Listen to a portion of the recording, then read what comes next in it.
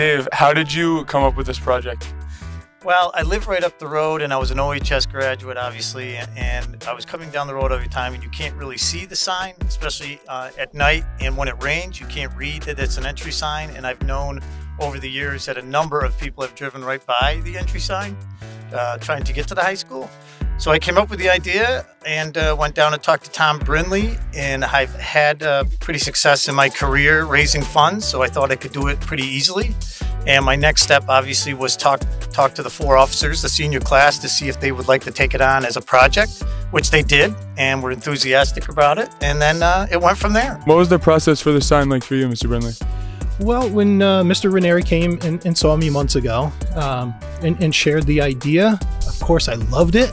Um, and, and to know that you know our senior class was going to be involved in that was super exciting um, because we should be really we are we're very proud of of uh, our, our school and everything that we do here. So um, then you know there was a, uh, a zoning board of appeals um, meeting. Of course, we shared uh, all of this with our board of education, uh, who was tremendously supportive. So um, it's just been great, you know. And then all the fundraising efforts that you all played an important role in.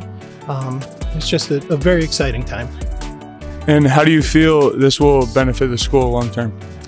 Well, look, this is a legacy gift. This is something that will be around for, for many, many years. And, uh, you know, you all do such great things while you're here. It'll be great to highlight those those things on our board so people who are driving by can see them. And uh, it'll just be a beacon of, of positivity for, for our district, which is what we deserve. Mr. Stevens, what has this process been like for you? Um, this has been a great process. I've enjoyed working with you guys, the senior class, uh, the officers, um, step, stepping up and uh, raising the funds for this, and it's really been a great opportunity. And how do you feel this will benefit the school long term? Well, first of all, we'll have people actually coming to the school instead of driving by. you don't know how many times people have come by and not been able to see the sign. So it's going to be a great way to showcase our uh, entrance to the school. Also, be a great way to help communicate. Uh, uh, events and activities that are going on in the school uh, right here on the street so everybody knows about it.